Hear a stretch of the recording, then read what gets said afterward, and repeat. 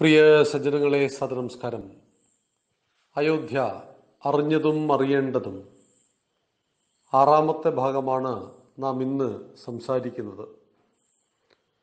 Professor Irfan ഹബീബിന്റെ സമീപനം എങ്ങനെയാണ് ഹിന്ദുവിനെയും മുസ്ലിമിനെയും തമ്മിലടിപ്പിക്കുന്നതായി തീർന്നത്? ഇർഫാൻ ഹബീബ് ഹൈന്ദവ ഇസ്ലാമിക സംയോജനത്തിനെതിരെ പ്രവർത്തിച്ചു അദ്ദേഹം. കെ കെ മുഹമ്മദ് സാറ് തുടരുകയാണ്. ജെ എൻ യുവിലെ കുറെ ചരിത്രകാരന്മാർ എന്ന് എസ് ഗോപാൽ റൊമീല താപ്പർ ബിപിൻ ചന്ദ്ര എന്നിവരുടെ കീഴിൽ രാമായണത്തിന്റെ ചരിത്രപരമായ വസ്തുതയെ ചോദ്യം ചെയ്യാനും ക്ഷേത്രം പൊളിച്ചതിനെക്കുറിച്ച് പത്തൊമ്പതാം നൂറ്റാണ്ടിനു മുമ്പ് യാതൊരു പരാ പരാമർശവുമില്ലെന്നും അയോധ്യ ബുദ്ധന്മാരുടെ കേന്ദ്രമായിരുന്നു എന്നും വാദിക്കാൻ തുടങ്ങി. ഇവരുടെ കൂടെ professor R. S. Sharma Akhtar Ali D. N. ധ സൂരജ് ഭാൻ ഇർഫാൻ ഹബീബി എന്നിവർ കൂടിയായതോടെ അത് ചരിത്രകാരന്മാരുടെ വലിയൊരു കൂട്ടായ്മയായി. ഇവരിൽ സൂരജ് ബാൻ മാത്രമേ ആർക്കിയോളജിസ്റ്റായി ഉണ്ടായിരുന്നുള്ളൂ. ആർ. ശർമ്മയുടെ കൂടെയുള്ള ചരിത്രകാരന്മാർ ബാബറി മസ്ജിദ് ആക്ഷൻ കമ്മിറ്റിയുടെ എക്സ്പേർട്ടായി പല ഗവൺമെന്റ് മീറ്റിങ്ങുകളിലും പങ്കെടുത്തു. ഇവരുടെ മസ്ജിദ് ആക്ഷൻ കമ്മിറ്റിയുടെ പല മീറ്റിങ്ങുകളും നടന്നത് ഇന്ത്യൻ കൗൺസിൽ ഓഫ് ഹിസ്റ്റോറിക്കൽ റിസർച്ചിന്റെ ചെയർമാനായ ഡോക്ടർ ഇർഫാൻ ഹബീബിന്റെ നേതൃത്വത്തിലും. ബാബരി മസ്ജിദ് ആക്ഷൻ കമ്മിറ്റിയുടെ മീറ്റിംഗുകൾ ഇന്ത്യൻ കൗൺസിൽ ഓഫ് ഹിസ്റ്റോറിക്കൽ റിസർച്ചിന്റെ ഓഫീസിൽ നടക്കുന്നത്.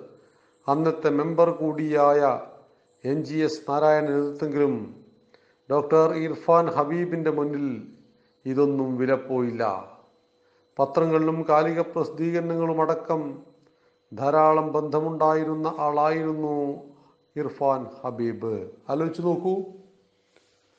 ഒരു രാജ്യത്തിന് ശാശ്വതമായ സമാധാനത്തിലേക്ക് നയിക്കേണ്ട ഒരു ചരിത്രകാരൻ മുസ്ലിങ്ങളുടെ പക്ഷത്ത് ചേർന്ന് നിന്നുകൊണ്ട് അത് ബുദ്ധന്മാരുടെ കേന്ദ്രമായിരുന്നു എന്നും അവിടെ ഹിന്ദുക്കൾക്ക് യാതൊരു അവകാശവുമില്ല എന്നും വരുത്തി തീർക്കുവാൻ വേണ്ടിയിട്ട് മീറ്റിങ്ങുകൾ സംഘടിപ്പിക്കുന്നു. ആ മീറ്റിങ്ങുകൾ ആ മീറ്റിങ്ങുകൾ എന്റെയും നിങ്ങളുടെയും നികുതിപ്പണം കൊണ്ട് പ്രവർത്തിക്കുന്ന സർക്കാർ സ്ഥാപനത്തിനുള്ളിൽ വെച്ച് നടത്തുന്നു. ബാബരി മസ്ജിദ് ആക്ഷൻ കമ്മിറ്റി പള്ളിയിൽ വെച്ചോ ഏതെങ്കിലും മുസ്ലിം വീടുകളിലോ സ്ഥാപനങ്ങളിലോ വെച്ചോ നടത്തുന്നത് നമുക്ക് മനസ്സിലാക്കാം. എന്നാൽ അത് സർക്കാരിന്റെ ശമ്പളം പറ്റുന്ന ഒരു ഉദ്യോഗസ്ഥൻ സർക്കാരിന്റെ ഉടമസ്ഥതയിലുള്ള ഓഫീസിൽ വെച്ച് നടത്തുന്നു എന്ന് പറയുന്നത് എന്തുകൊണ്ടാണ് ഇവിടെയെല്ലാം വലിയ വലിയ ഗൂഢാലോചനകളെ കുറിച്ച് ഭാരതീയ സമൂഹം തിരിച്ചറിയണം. നമ്മൾ കുറച്ച് കാലങ്ങളായിട്ട് ചർച്ച ചെയ്തതായിരുന്നു ജെ എൻ യു. അവിടെ കനയ്യകുമാരനും ഒമർ ഖാലിദും അപരാജിതയും ചേർന്നുകൊണ്ട് അഫ്സൽ ഗുരു എന്ന കൊടുംഭീകരന്റെ മൂന്നാം ചരമദിനം ആഘോഷിച്ചു. ഇന്ത്യൻ പാർലമെന്റ് മുറ്റത്ത് ആറ് സൈനികന്മാരെ വെടിവെച്ചു കൊന്ന അഫ്സൽ ഗുരു എന്ന കൊടുംഭീകരനെ ഭാരതത്തിന്റെ പരമോന്നത നീതിപീഠമായ സുപ്രീം കോടതി പന്ത്രണ്ട് വർഷക്കാലം ആയിരക്കണക്കിന് പേജുകളിലൂടെ തലനാരിഴകേറി പരിശോധിച്ചു. അതിനുശേഷം തൂക്കിക്കൊല്ലാൻ വിധിച്ചു. സുപ്രീം കോടതി ഒരാളെ തൂക്കിക്കൊല്ലാൻ വിധിച്ചാൽ പിറ്റേ ദിവസം ഇന്ത്യയിൽ തൂക്കിക്കൊല്ലുന്നില്ല. അയാൾക്ക് കാര്യങ്ങൾ ബോധിപ്പിക്കുവാൻ വീണ്ടും അവസരമുണ്ട്. അങ്ങനെ വാദപ്രതിവാദങ്ങളുടെ അനേക വർഷം നീണ്ടുനിന്ന കാര്യ പദ്ധതികൾക്കൊടുവിൽ മരണം വരെ തൂക്കിക്കൊല്ലുവാൻ വിധിച്ചു ബഹുമാനപ്പെട്ട കോടതി. ആ അഫ്സൽ ഗുരുവിന്റെ മൂന്നാം ചരമദിനം തൂക്കിക്കൊന്നതിന്റെ മൂന്നാം ചരമദിനം ആഘോഷിച്ചു ആര്? കനയ്യകുമാറും ഒമർ ഖാലിദും അപരാജിതയും. ഇവരൊക്കെ ആരാണ്? കനയ്യകുമാർ മാവോയിസ്റ്റാണ്. അവൻ എ ഐ എസ് എഫ് ആണ്. ആരാണ് ഒമർ ഖാലിദ്? ഇന്ത്യ ഒരായിരം കഷ്ണങ്ങളായി പൊട്ടിത്തെറിച്ചാലും ഇസ്ലാമിനെ അത് ബാധിക്കുന്നില്ലെന്ന് പറഞ്ഞ മൗലാന മൗദൂദി. ആ മൗദൂദിയുടെ ജമായത്തെ ഇസ്ലാമിയുടെ രാഷ്ട്രീയ മുഖമായ വെൽഫെയർ പാർട്ടി ഓഫ് ഇന്ത്യയുടെ അഖിലേന്ത്യാ അധ്യക്ഷനായ എസ് ക്യു ആർ ഇല്യാസിയുടെ മകനാണ് ഒമർ ഖാലിദ്. ആ ഉമർ ഖാലിദിന്റെ കൂട്ടുകാരിയും കാമുകിയുമൊക്കെ എന്ന് വിശേഷിപ്പിക്കുന്നു. ദേശീയ നേതാക്കന്മാരായ കമ്മ്യൂണിസ്റ്റ് പാർട്ടിയുടെ ദേശീയ നേതാക്കന്മാരായ ഡി രാജയുടെയും ആനി രാജയുടെയും മകളായ അപരാജിത.